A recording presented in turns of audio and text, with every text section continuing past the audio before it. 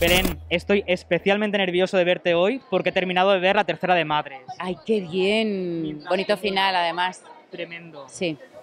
La comento con un amigo y le pasa una foto llorando que es que de verdad. Es que hay una cosa, aunque la serie se llame Madres, todos, te- o sea, todos tenemos una madre, quiero decir. Sí. Luego puedes tener hijos, o- pero todos los hijos tenemos madres. Y es verdad que en algún momento o en alguna situación, eh, a mí, ¿sabes lo que me gusta de la serie? Que hay muchas cosas que ocurren que le ha pasado a mucha gente, pero que no se daba cuenta de que su madre estaba pasando por eso. ¿Me explico? Las madres tenemos el grandísimo defecto de no decir que estamos mal, para no agobiar a nuestros hijos o para no colocarles nuestros problemas. Y hay muchas veces que nos quejamos de que no nos cuidan y no estamos diciendo que lo necesitamos.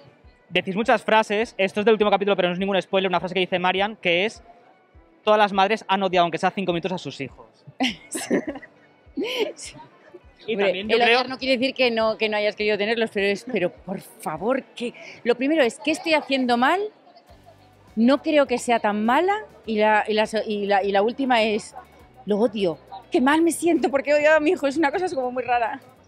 qué dureza el último capítulo en concreto. Yo lo siento por centrarme y sin poder hacer spoilers, pero lo tengo muy metido ahora mismo en la cabeza de haberlo visto hoy. Hmm.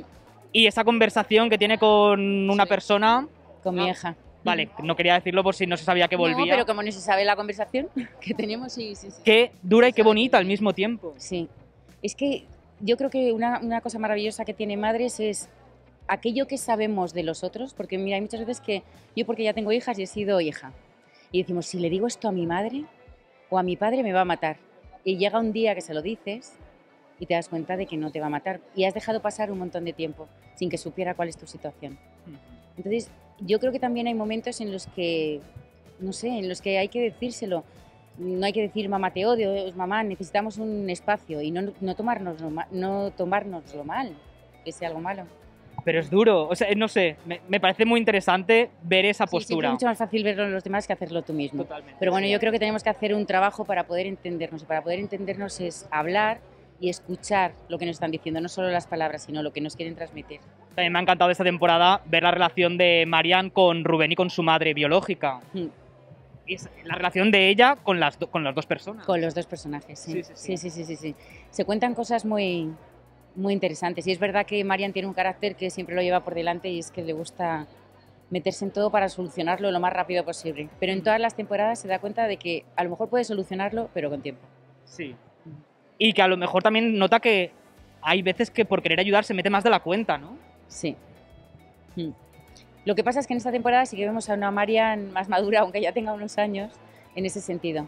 Dice, Sí. me estoy metiendo demasiado y da un paso atrás.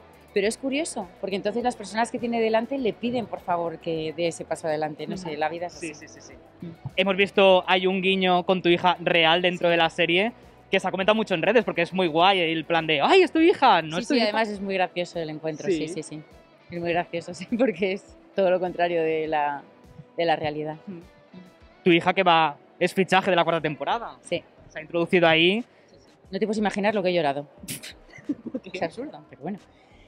Porque de alguna manera no es solamente por el tema de tener trabajo, que también, tal y como están las cosas, sino esa sensación de que de que ya va camino. sola, de que ya va sola y de que ya ha elegido su camino Qué bien. y de que está feliz.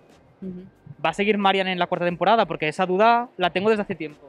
No, No. no. Bueno, ya ha dado el relevo a su No, hija. pero sí que siguen otros personajes. Sí, sí. Qué guay. Pues muchísimas gracias, Belén. Gracias a vosotros. Hemos hecho Muchas un monográfico, me hace mucha ilusión. Estupendo. Porque ahora es verdad, eh, como en las plataformas, en Amazon Prime Video, te lo puedes ver cuando, cuando Sí. tú quieras. No, de hecho, hace poquito que lo, lo he visto, porque he estado trabajando y no podía.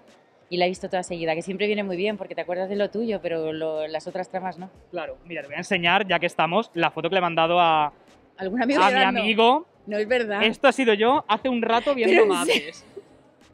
Viendo la conversación de Marian y Elsa. Me encanta esta cosa que hacéis vosotros. Mis hijas también lo hacen. Se mandan una foto, se hacen una foto llorando. Yo jamás haría eso. Es mío, es intimidad. Ya, pero es que era tan bonito y es con la persona que comento madres, pues, Pues, tenía que Te lo hacer. agradezco. Qué bien. Muchas gracias. Gracias a ti.